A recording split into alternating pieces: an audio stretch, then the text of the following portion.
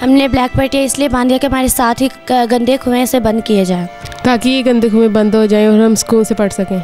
जब तक ये गंदे कुएँ बंद नहीं किए किए जाएँगे तब तक हम एहतजाजी ये पट्टी नहीं खोलेंगे। क्योंकि हमें पढ़ना है मरना नहीं है हमने इसलिए पट्टी बाँध के एहतजाज कर रहे हैं। पटिया इसलिए बांधी है कि जो हमारे स्कूल के साथ गंदे हैं, ये बंद करवाए जाए। क्योंकि हमारे स्कूल के साथ गंदे कुएँ हैं, उन्हें बंद कराया जाए। कि हमारे स्कूल के साथ गंदे कुएँ उन्हें बंद करवाएँ। ब्लैक पट्टियाँ इसलिए बांधी क्योंकि हमारे स्कूल के साथ गंदे कुएँ हैं इन्हें बंद करवाएँ। हमने इसलिए बांधी कि हमारे स्कूल के साथ जो गंदे कुएँ इनको बंद करवाया जाए। नसीम साहब को सलाम सलाम पाकिस्तान में हूँ कि मेज़बान साजा गौरी नाजरीन मैं इस न्यू कॉमर्स स्कूल सिस्टम में मौजूद हूँ जो कि दाऊद दो हज़ार अठारह से यहाँ पर स्कूल के साथ ही गंदे डिस्पोजल पम्प बनाए गए। जितने भी एम पी नोट किए थे उन्होंने भी सरापा एहतजाज आवाज़ उठाई।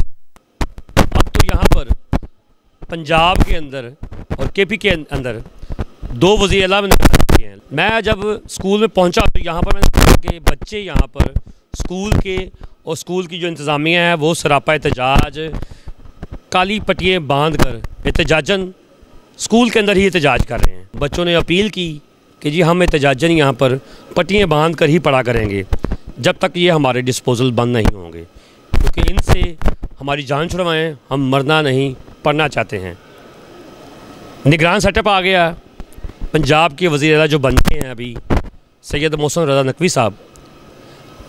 यहाँ की इंतज़ामिया है यहाँ के बच्चे हैं आप पम्फलेट दे सकते हैं पीछे लिखा हुआ है।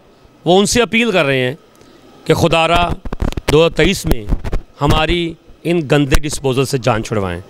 हाँ जी मैं यहाँ जैसे आप बच्चों को देख सकते हैं तो ये एक्चुअली एहतजाज जो है वो हमारी तरफ़ से नहीं है। जी। ये बच्चों की तरफ़ से है। अगर सिर्फ़ हम ही होते तो शायद सब्र करके बैठ जाते। लेकिन बच्चों को चूँकि इस सारी तकलीफ़ का सारी इन्वायरमेंट का गंदी इन्वायरमेंट का जो हुकूमत ने दे, दे रखी है नई नस्ल को सबका हुकूमत ने। यस सबका हुकूमत ने। और ये जो नया पाकिस्तान बनने को जा रहा है, उसको बदबू के अंदर बैठने पर, बैठकर पढ़ने पर मजबूर किया जा रहा है। तो ये आज का जो एहतजाज है, वो इन स्टूडेंट्स की तरफ़ से है, लड़कियों की तरफ़ से है। पीछे अगर आपका कैमरा दिखा सके तो पीछे लड़के भी खड़े हैं, क्योंकि हमारे यहाँ न्यू कोवेनेट स्कूल सिस्टम के दो बड़े बड़े कैंपस हैं गर्ल्स एंड बॉयज़ और मैं इसके साथ साथ ये भी आपको बताती चलूँ। कि यहाँ पर सिर्फ़ क्रिश्चियन बच्चे ही नहीं यहाँ पर मुस्लिम गरीब बच्चे मसीही गरीब बच्चे पढ़ते हैं। और मैं समझती हूँ कि जितना यहाँ पर जो फैकल्टी है स्कूल के अंदर वो फ़िक्रमंद है उतना ही हुकूमत को भी होना चाहिए। अब जैसा कि न्यू वज़ी आला जो आ चुके हैं निगरान वज़ीर आला तो हम उनसे ये भरपूर अपील करते हैं कि खुदारा अगर किसी और ने ये नज़र षानी नहीं की तो वो ज़रूर करें और ये पाकिस्तान का हंसता, खेलता मुस्तबिल जो है, वो बचाने की कोशिश करें। सो ये हमारी हम्बल रिक्वेस्ट है। न्यू वज़ीर अला से। अच्छा मैंने देखा कि आज बच्चे जब पढ़ने शुरू कर दिया है उन्होंने एहतजाजन तो क्या ये बच्चे क्या कहना चाह रहे हैं कि हम किस तरह इस मोहतरम जैसा कि आप देख सकते हैं कि ये जो रिबन बांधे हुए हैं ये ब्लैक कलर में है। तो ब्लैक कलर जो है वो सोग का और परेशानी का व्यू देता है और तासरात देता है।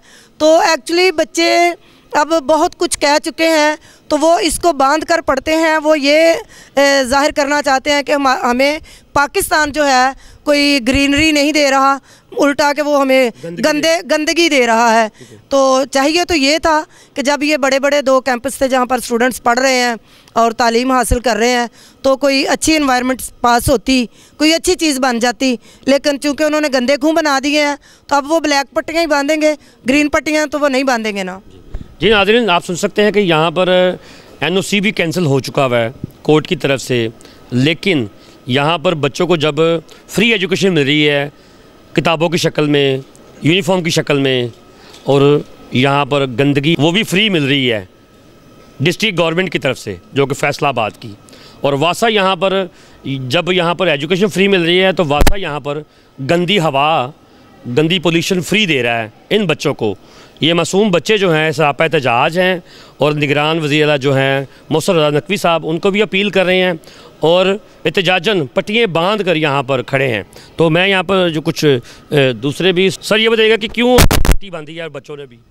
देखें सबसे पहले मैं एक सवाल करना चाहता हूँ, जो हमारे अभी के मौजूदा निगरान वज़ी अला हैं, मोहसन साहब हैं।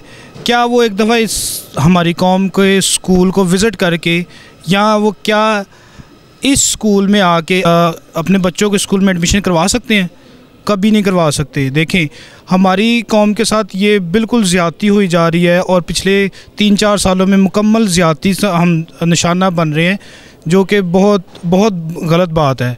तो मेरी अपील है मोहसन साहब से कि इस पर नज़रसानी की जाए और जो सबका हुकूमतें थी, उन, अगरचे वो नहीं इस बात को मद्दनज़र रख सके, लेकिन अगर इनके दिल में थोड़ा सा खुदा खौफी है अल्लाह ताला का उनके खौफ है दिल में तो खुदा रहा इन बच्चों का आठ नौ सौ से जिसमें ना सिर्फ़ क्रिश्चन बच्चे बल्कि मुस्लिम बच्चे जो कि फ्री एजुकेशन हासिल कर रहे हैं तो उनका मुस्तबिल को तरीक ना किया जाए। और ये आज बच्चे इसी आ, काले रंग को मजबूर हैं इस बात से कि हम काले रंग को पहन के पढ़ें ताकि हमारा जो हुकूमतें हमारे साथ नाइंसाफ़ी कर रही हैं हमारे मुस्तबिल को तरीक कर रही हैं वो उस पर नज़रसानी की जाए। और मेरी निगरान वजी साहब से गुजारिश है कि प्लीज़ इस पर नज़रसानी करें और हमारे बच्चों को अच्छा मुस्तबिल अता करें।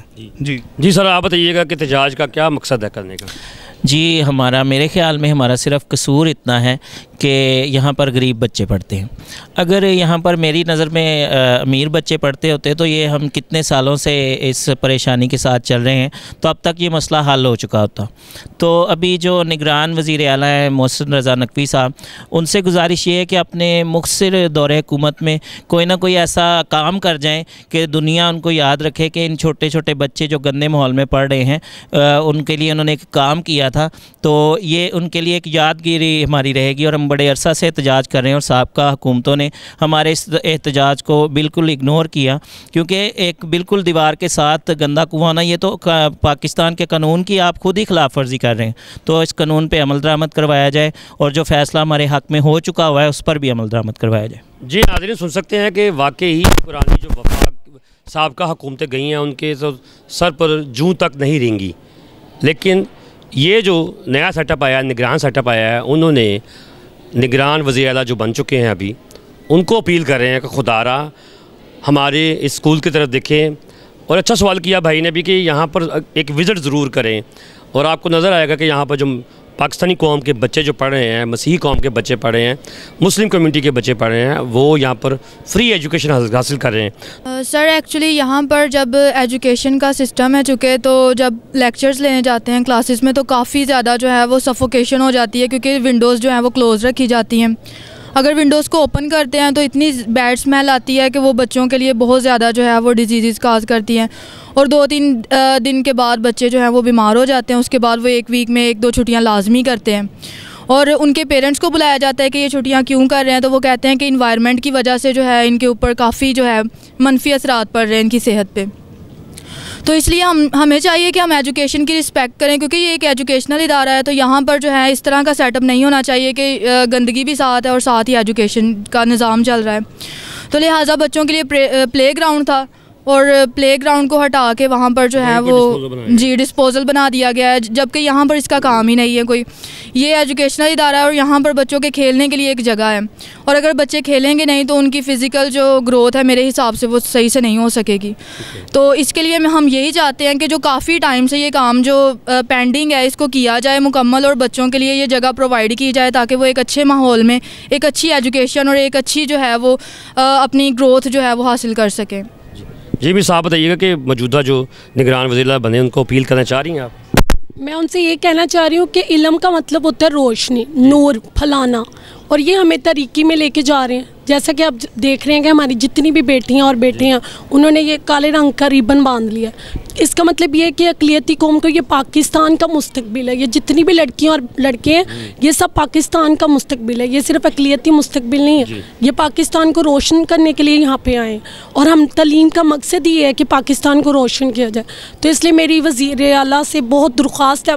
जो। मौजूदा करंट हमारे वज़ी अजम है पाकिस्तान के कि मज़ीद इस अ, तरीके को ना उजागर किया जाए, बल्कि इलम की रोशनी को नूर की मानदी रखा जाए तो बेहतर है। और इन बच्चों और बच्चियों को मज़ीद पढ़ने के और अच्छा माहौल प्रोवाइड किया जाए, ताकि वो अच्छे तरीके से यूनिवर्सिटीज़ में कॉलेजेस में जाके अपनी तलीम को कंटिन्यू रख के पाकिस्तान के मुस्तबिल में अपना कदम और अपना एक हिस्सा डाल सके, ताकि उनका भी एक उजागर हो, पाकिस्तान में इलम की रोशनी मज़ीद बढ़े। ये नहीं कि तरीके की मानद उनको बनाया जाए। तो ये बच्चियाँ, जितनी भी बच्चियाँ ये हमारी बच्चियाँ नहीं हैं, ये पाकिस्तान की बच्चियाँ ये मुल्क की बच्चियाँ, ये कौम की बच्चियाँ। तो मैं दरख्वास्त करती हूँ कि इन बच्चे और बच्चियों का हुकूमत से कि उनको देखें और उनको तरीके की तरफ़ ना ले जाने दें, बल्कि उनको रोशनी की तरफ़ जाने दें और उनको रोशनी करने की मुकम्मल तौर पर कोशिश की जाए, बल्कि उसको देखा ना जाए, सुना ना जाए, उस पर मुकम्मल कोशिश की जाए कि इसको ख़त्म किया जाए। जी, नाजरीन, जिस आप सुन सकते हैं कि जो है, तालीम की रोशनी को फैला रहा है, लेकिन जो यहाँ का वासा है, वो बच्चों के मुस्तकबिल पर, तालीम पर तारीखी डाल रहा है, यानी कि अंधेरे की तरफ़ धकेल रहा है। अभी टीचर ने भी बताया कि बच्चे इस माहौल में कुछ ऐसे हैं कि आए दिन वो छुट्टियाँ भी कर लेते हैं, और टीचर के बच्चों के जो पेरेंट्स हैं वो यही कहते हैं कि जी, बच्चे बीमार हो गए, बच्चों को नज़ला लग गया, ज़ुकाम लग गया, क्योंकि यहाँ का इन्वायरमेंट के हवाले से बच्चे बीमार भी हो जाते हैं। लेकिन मेरा ख्याल है कि यहाँ पर जो न्यू कॉमर्स स्कूल सिस्टम जो है एजुकेशन की तालीम जो फ्री दे रहा है, खुदारा, यहाँ का जो वासा है, वो गंदी हवा फ्री ना रहे बल्कि इन बच्चों को पढ़ने दें, क्योंकि ये पढ़ेंगे और अच्छा मुस्तकबिल बनाएँगे और मुल्क के पाकिस्तान का नाम रोशन करेंगे। क्योंकि न्यू कॉन्वेंट स्कूल सिस्टम जो है, एक अच्छा इदारा है और बेहतरीन इदारा है, क्योंकि इनका यही प्लान था कि ये यहाँ से निकल कर दूसरे शहरों में भी इस तरह की एजुकेशन सिस्टम चलाएँगे जहाँ पर फ्री एजुकेशन दी जाएगी। इनका मकसद क्रिश्चियन कम्युनिटी नहीं, बल्कि मुस्लिम कम्युनिटी और मुल्क पाकिस्तान के जितने भी बच्चे जो इल्म हासिल नहीं कर सकते, उनके लिए ये अच्छा सिस्टम चला सकें। जितने बच्चे तालीम हासिल करेंगे, मुल्क पाकिस्तान का नाम रोशन करेंगे। जी नाजिन, जिस तरह आपने सारी इंतज़ामिया से मैंने बातचीत की है कि यहाँ पर इस वक्त न्यू कॉन्वेंट स्कूल सिस्टम के अंदर जो बच्चियाँ हैं और बच्चे हैं, वो एहतजाजन पटियाँ बाँध कर काले रंग की और क्लास में बैठकर अपनी एजुकेशन हासिल कर रही हैं। क्योंकि हम चाहते हैं कि हमारे स्कूल के साथ जो मलहका जो गंदे कुएँ बनाए गए हैं 2018 से, अब तक वो डिस्पोज़ल बंद नहीं हो सके। तो हम अब 2023 शुरू हो चुका है, ब्लैक पट्टियाँ बहन कर हम यहाँ पर क्लास में बैठकर पढ़ेंगे। और जब तक पट्टियाँ हम इस तरह बांधते रहे जब तक कुएँ हमारे बंद नहीं होंगे। तो कुछ बच्चियाँ यहाँ बैठी हुई हैं। बेटा ये पट्टियाँ क्यों बांधी हुई हैं आपने? जब तक ये गंदे कुएँ बंद नहीं किए किए जाएँगे तब तक हम एहतजाजन ये पट्टी नहीं खोलेंगे। क्योंकि हमें पढ़ना है मरना नहीं है हमने इसलिए पट्टी बाँध के एहतजाज कर रहे हैं। जी नाजिन आप देख सकते हैं कि यहाँ पर हमारी कौम की बेटियाँ पढ़ रही हैं। और आप पूरी क्लास देख सकते हैं आप मेरे सामने कि ये सारी बच्चियों ने पट्टियाँ बांधी हुई हैं और एहतजाजन हर क्लास के हर बच्चे ने पट्टी बांधी हुई है। ये एक अच्छा एहतजाज किया जा रहा है सिर्फ़ इस वजह से कि यहाँ पर जो है गंदे डिस्पोजल जो बनाए गए हैं दाऊद कॉलोनी में न्यू कॉमर्स को सिस्टम के साथ दीवार के बिल्कुल साथ है। गंदे को बंद हो? यस ठीक है। पट्टी बांधी हुई है आपने। जी बेटा आप बताइए ये पट्टियाँ ब्लैक क्यों बांधी हुई हैं? ताकि ये गंदे कुएँ बंद हो जाएँ और हम स्कूल से पढ़ सकें। ठीक है। नाजरीन, देखें, हर बच्ची जो है यहाँ पर, जो मसीह कौम की बेटी बैठी हुई है, वो यही कह रही है कि हम एहतजाजन ये काले कपड़े बाँध कर बाजू के ऊपर एहतजाजन बैठे हुए हैं। कोई भी कौम अगर किसी भी तरीके से एहतजाज करती है, वो अपने हक़ के लिए करती है। और मैं आपको दूसरी क्लासों में भी लेके जाता हूँ, वहाँ पर भी।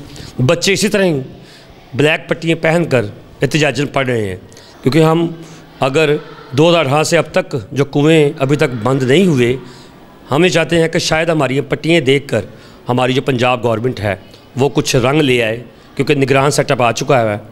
जी बेटा ये काली पट्टी क्यों बांधी हुई है हमने ये ब्लैक पट्टियाँ इसलिए बांधी है कि जो हमारे स्कूल के साथ गंदे कुएँ हैं, ये बंद करवाए जाए। जी बेटा ये आपने पट्टी क्यों बांधी हुई है? हमने ब्लैक पट्टियाँ इसलिए बांधी है कि हमारे साथ ही गंदे कुएँ से बंद किए जाए। जी बेटा आप ये काली पट्टी क्यों बांधी हुई है? क्योंकि हमारे स्कूल के साथ गंदे कुएँ हैं, उन्हें बंद कराया जाए।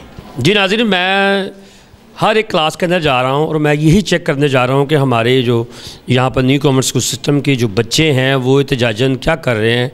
वो एहतजाजन इस तरह ही एहतजाज कर रहे हैं। क्लास के अंदर बैठ कर पट्टियाँ बाँध कर ब्लैक कलर की और वो पढ़ाई भी कर रहे हैं और साथ साथ यही इल्तजा कर रहे हैं कि खुदारा, यहाँ से जो गंदे कुएँ हैं, उनको बंद करवाया जाए। क्योंकि स्कूल के साथ हैं, ये बिल्कुल गंदे कुएँ। और यहाँ पर जो जितनी भी आबो हवा है, जनरेटर जब चलता है तो हमें, हमसे पढ़ा नहीं जाता। ये बच्चों की अपील है और मैं यहाँ पर बच्चियों से भी बातचीत कर रहा हूँ। हमारी यहाँ पर पाकिस्तानी कौम की जो बच्चियाँ हैं, मसीह कौम की बेटियाँ हैं, वो यहाँ पर एजुकेशन हासिल कर रही हैं। तो मैंने आपको पहले भी बच्चियों से बात करवाई, आप कुछ और क्लासेस में आया हूँ मैं। ये कि हमारे स्कूल के साथ गंदे कुएँ उन्हें बंद करवाएँ। ब्लैक पट्टियाँ इसलिए बांधी क्योंकि हमारे स्कूल के साथ गंदे कुएँ हैं इन्हें बंद करवाएँ। पट्टी बाँध के ये कह रही बेटा बताइएगा क्यों बांधे हमने इसलिए बांधी कि हमारे स्कूल के साथ जो गंदे कुएँ इनको बंद करवाया जाए।